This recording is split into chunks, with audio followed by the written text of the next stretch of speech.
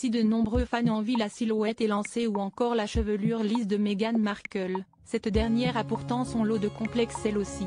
En effet, elle avait révélé il y a deux ans qu'elle ne portait pas les créations de la marque de vêtements de son amie, Victoria Beckham, car elle trouve que son torse est trop court.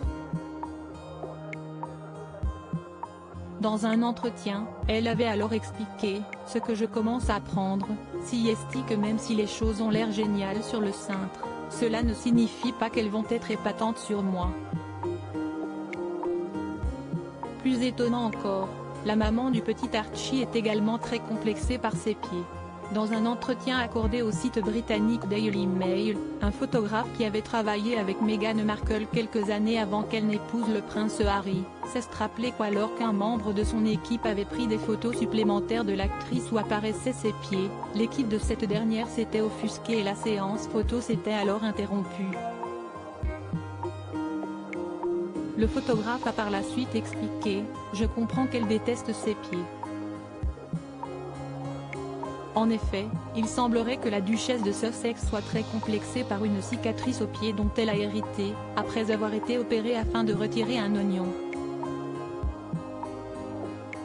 Le photographe ne garde pas un bon souvenir de sa rencontre avec Meghan Markle si le photographe comprend que la duchesse de Sussex est des complexes. Il a cependant confié au Daily Mail qu'il n'avait pas apprécié son attitude pendant la séance photo et qu'il ne souhaitait pas travailler à nouveau avec elle. Il se souvient, elle était très exigeante et désagréable. Elle était difficile et exigeante.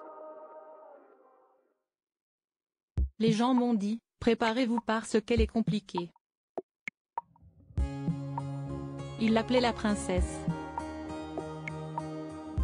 Si le caméraman a salué le professionnalisme de Meghan Markle, il a également ajouté, la fille était vraiment facile à filmer.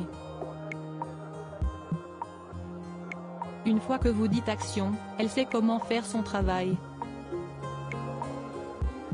Mais après l'arrêt de la caméra, elle n'est pas la personne la plus sympathique.